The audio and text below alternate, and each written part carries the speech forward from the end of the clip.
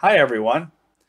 You may have seen in AMSAT news or social media the announcement of the delivery and integration of Fox 1 Cliff. This is the last step for AMSAT engineering in getting one of our satellites to orbit. But what is delivery and integration? I'm going to talk about that in this video. In addition, I have a little surprise at the end.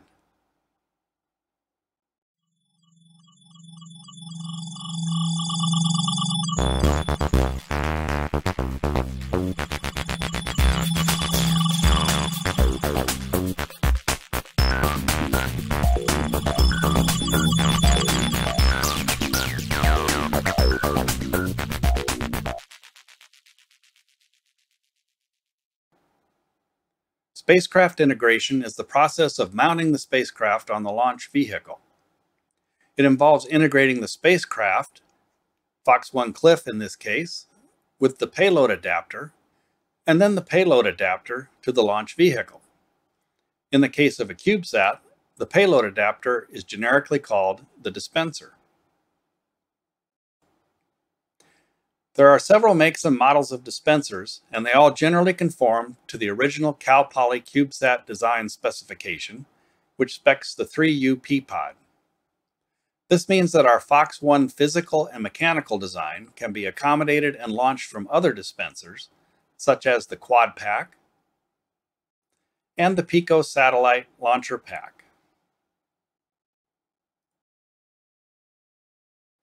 The basic principle of deploying CubeSats is common to all three of these deployers. There is a spring and a platform or pusher plate on which the CubeSat or CubeSats is loaded. The spring is tensioned and the spring and CubeSats are held down by the closed door. Once in space, the CubeSats are deployed by opening the door, and there they go.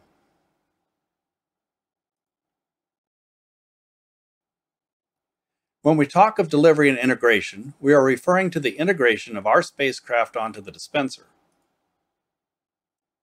So what is the customer's role in integration? What do I do when I deliver and integrate one of our CubeSats? First off, of course, there's the delivery of the spacecraft. You can ship it ahead or carry it in, and in the case of our Fox One 1U cube CubeSats, they fit in this nice small Pelican case, so I will carry it with me on the airplane and to the integration.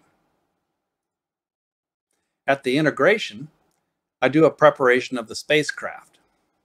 Typical for all the Fox 1 CubeSats, I do a checklist of mechanical items, which includes removing the solar panel covers. I'll do battery charging, which typically has been done the night before in the hotel room. And I'll perform an inspection to make sure the antennas are stowed, the pre-flight initialization has been performed, the umbilical port is covered, and all surfaces are visibly clean. Once I have done my inspection, the integrator will do their inspection to ensure that we have met their specifications. Customer involvement in the physical integration is highly encouraged by the mission integrator. This allows both teams to work together in executing the steps necessary for a successful launch and deployment. In all of our Fox 1 integrations, I am the one who loads our CubeSat into the deployer. These photos are from the Fox 1A integration.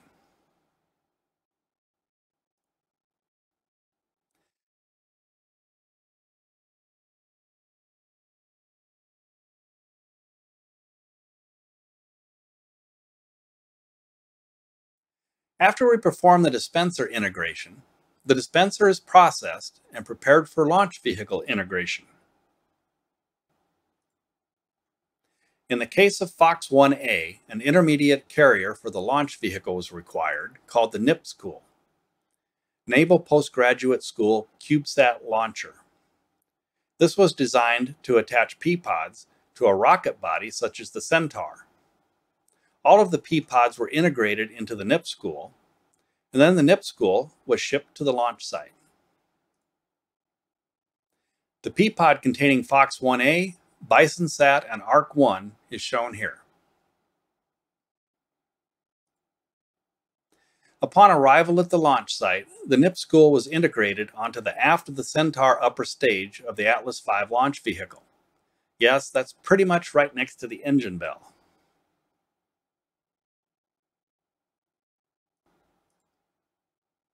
Fox 1B, also in a P-pod, was mounted directly to the upper stage of the Delta II launch vehicle. This video from the launch broadcast shows the sequence of events in assembling the rockets with the second stage, primary payload, P-pods, and finally the fairing being installed. Slowing things down a bit, we can take a closer look at the dispenser or P-pod being integrated on the launch vehicle. In this vehicle, the P-pods are mounted on the angled part of the second stage, just below the primary payload adapter.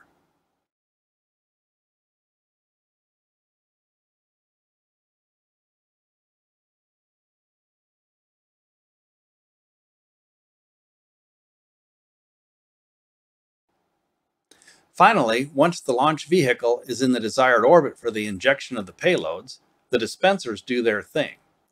Notice that this P-pod is the same one pointed out in the NPSCUL, where Fox 1A was integrated at the bottom of that P-pod stack.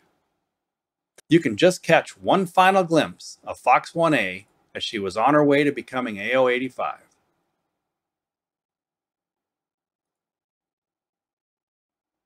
I hope this video helps you understand a little bit more about the integration process.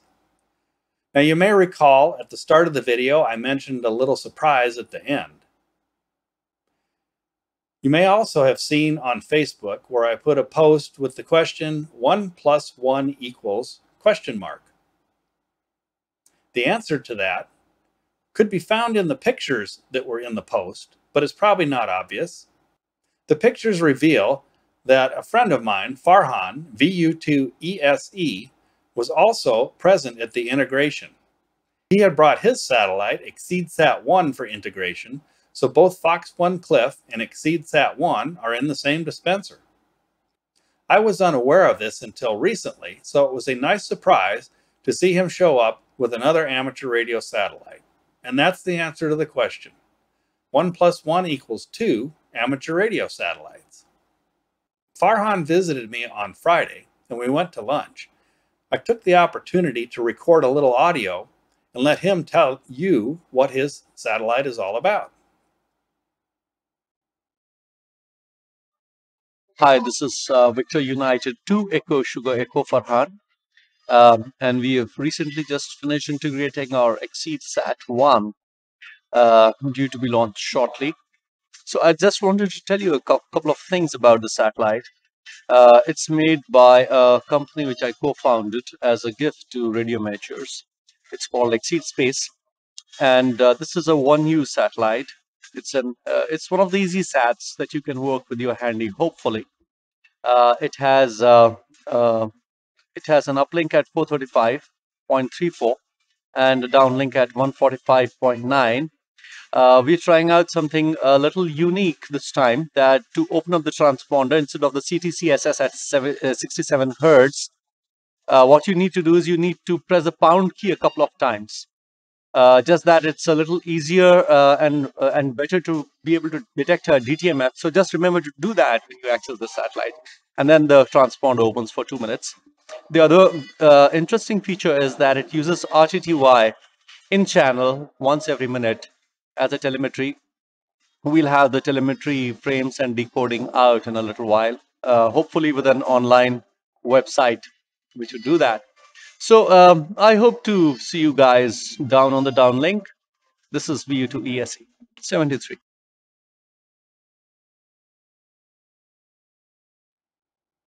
So there you go. You can look forward to two amateur radio satellites on this next launch. Our fourth Fox 1 and India's first amateur radio CubeSat. I hope you enjoyed the video. 7-3 and enjoy the birds.